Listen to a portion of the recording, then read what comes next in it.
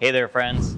I'm Chris Ewing, educator, fabricator, and dude that's been welding aluminum for 20 years? God, I'm getting old. Any case, beginners, experts alike, they'll tell you that welding aluminum really takes some special techniques, a little bit of extra practice, whether we're talking TIG or MIG or maybe even oxy-fuel welding. People just tend to think of that as a more difficult process.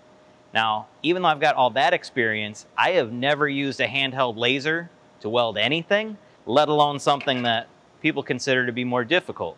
So I'm here at IPG Photonics where I thought there'd be sharks with frickin' laser beams attached to their heads, but those don't exist apparently. And I'm gonna talk to their engineering expert, Dan, about using the LightWELD system to handheld weld some aluminum. Let's go check it out.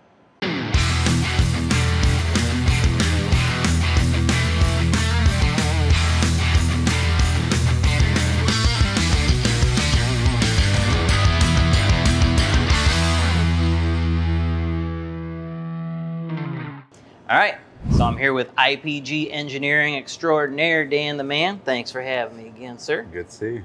So what can you tell me about laser welding aluminum as opposed to like MIG or TIG welding aluminum? You know, with TIG and MIG, you can't get a lot of penetration because uh, it takes so much heat to penetrate into aluminum just because of how dense it is. So most of all of your welding has to be done on the exterior. That's why you need so much filler material on, on aluminum when you're TIG welding and MIG welding. With the laser, we're able to get so much more penetration than any of the other processes that it takes half the time and you don't need to add so much material. So our beads look uh, very narrow compared to MIG and TIG, but they're actually stronger. So today we're gonna be able to demonstrate that. Cool. Uh, what kind of materials are we welding on? So uh, we got some coupons here. Uh, this is 6,000 series aluminum, and then we have some 5,000 series aluminum as well, different thicknesses. We'll do some T-joints and some butt joints, and uh, we'll do uh, fusion and wires. And the 6000 series, that is newly accommodating uh, with the XR machine, correct? Exactly. So with our other two models, the, the 1500 and the XC, with those, uh, you're only able to do 3000 series aluminum and 5000 series aluminum. Because of 6000 series aluminum, with the XR, we were able to shrink down our spot size uh, on the laser so that we can penetrate the 6000 a lot better now. So we have that extended range of capability on the XR. Cool. Well, I mean, I'm excited to give it a shot. So uh, let's get our gear on and try it out. Let's do it.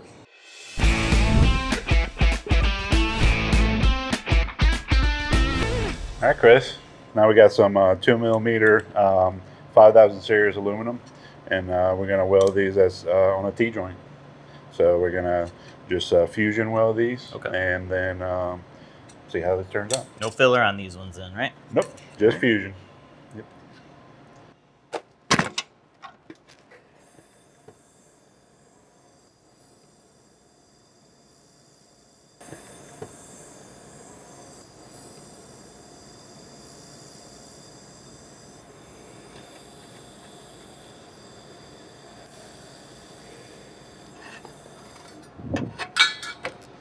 And, uh, I'll weld one side, you weld the other.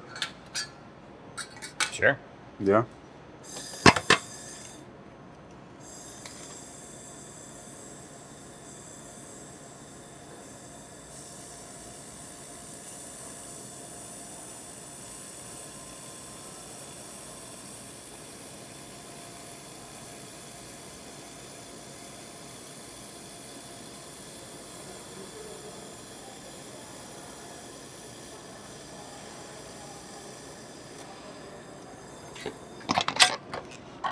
All right. Go ahead and weld the other side, with Chris. Well, sure. Now I got to try and make it look that good.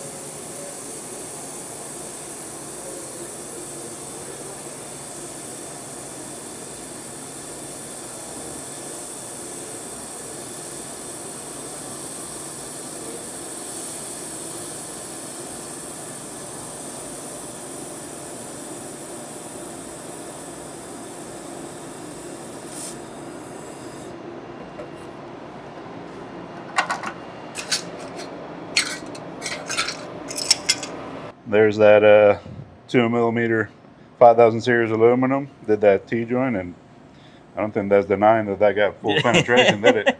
I may have gone a little slow, but I mean, it's still faster than TIG welding it, and you can absolutely see that's complete penetration. But yeah, there's no denying that that's a strong weld. I mean, I weigh about two 280 pounds, so let's see if uh, I can break that sucker.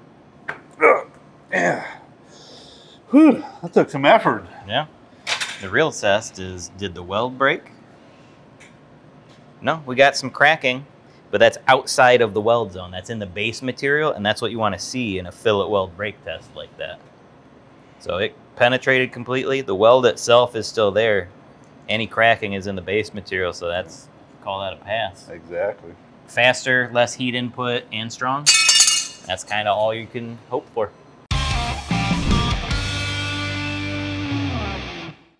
All right, so you got some aluminum in hand. What's up next? All right. So right here we have some 6000 series aluminum. We have a rectangle frame, and we have some diamond plate. So this is uh, kind of simulating a real world scenario where, um, you know, trailers, uh, RVs, uh, um, that sort of thing uses this type of material. So what we're going to do is we're going to weld one side in fusion and we're going to use the other uh, side and weld it with wire so Cool. that we can tell the difference between the two. Awesome. Let's check it out. All right, let's do it. I think I've already shown you enough things today and you're pretty good at it. I'm just going to let you do it. All right. So we're going to use the same tip. We have our settings already preset on the machine. Uh, we're going to do fusion weld on one side. Then I want you to flip it over. We're going to turn the wire feeder on, get that hooked up, and then I'm going to let you do the other side with the wire. So want to get started? All right.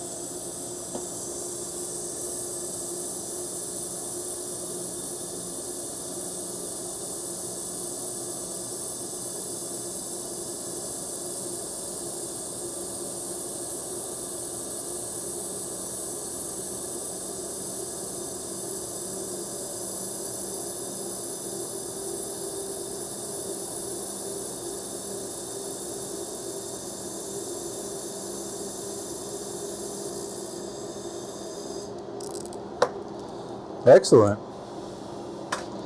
I would say that that's a very good weld there. Thank you, Master. Yes. think we have a good root there and very, very well. It's a good weld there. Nice. All right, so now we're going to get the machine set up and uh, go over to the uh, wire wheel on the other side. With the wire feeder, is going to start to push you along. So all you have to do is make sure that you're you're lightly holding the gun and hold it steady, and uh, the wire feeder is going to do the rest of the work for you. You're going to feel it's almost like it's on uh, uh, autopilot or cruise control. It's just going to push you along. Uh, just hold it steady and give it a go. I'll believe it when I see it.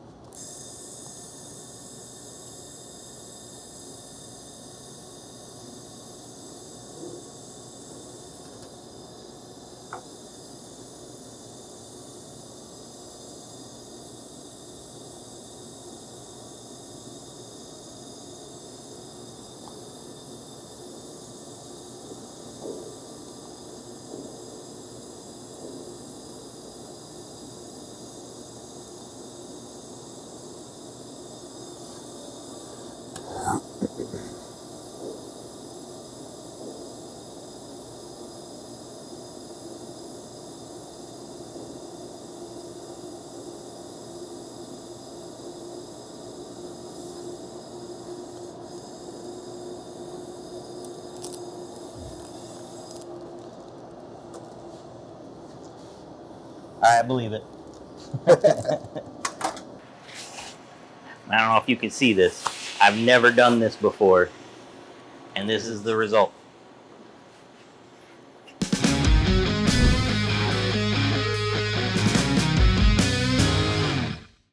All right, Chris. So next up, we have uh, some 6000 series aluminum. We're going to do a butt joint here on the narrow end. We're going to be using the XR with the uh, wire assist. We're going to be using 53, 56 wire on that. Now this looks like what eighth inch material. Yes. Now will we be able to expect complete penetration on eighth inch? Yes, even with the wire assist, you're going to have a bigger crown, but we're still going to be able to achieve that 100% penetration. Cool. Let's check it out.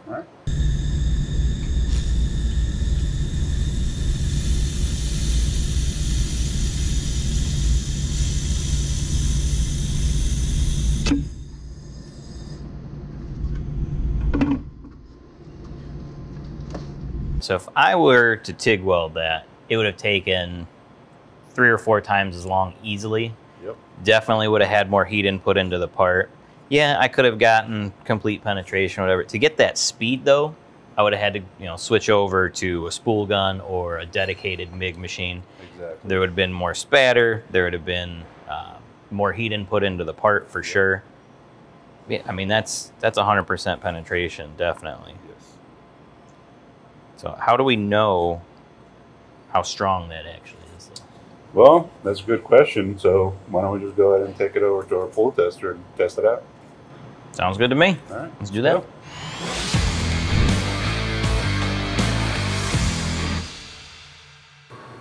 All right, Chris. So we're here in our metallurgy lab, and uh, we have the pull tester here, so we can get our 6000 series aluminum that we welded earlier, hook it up, and do a pull test on it. So, Let's break it. All right, let's do it. Break it. So we're gonna go ahead and load this guy in here. Clamp this up. Clamp this guy up. All right. Let's uh, take a few steps back. We'll get the machine all set up and Break it. break it.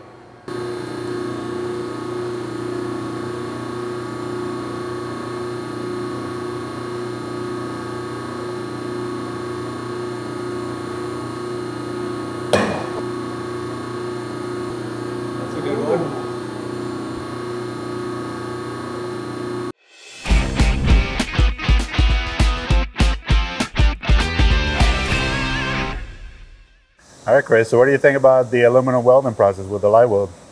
Honestly, I didn't even really know you could weld aluminum with a laser like that. You know, before today, having never been hands-on with that stuff, um, I'm impressed. You know, this is a game changer for certain industries where, as long as their, their mind is open to accepting new process like this, Yep. you got less heat input, it's faster, get this nice skinny little bead that's strong as crap anyway. I, there is really no downside that I see to this one. It really isn't. We're very proud to be able to have a, such a product that our customers really like, and, and we have uh, so many customers that use our products and, and really benefits everyone. So, Well, thanks, Dan, for having me out for another video. Look, if you want to learn more about the LightWELD system, visit ipgphotonics.com. If you got questions, comments, concerns, you just want to reach out, leave some comments below on this video. If you haven't downloaded that Weld app yet, why not? What are you waiting for? Get to it. Till next time, hope this helps.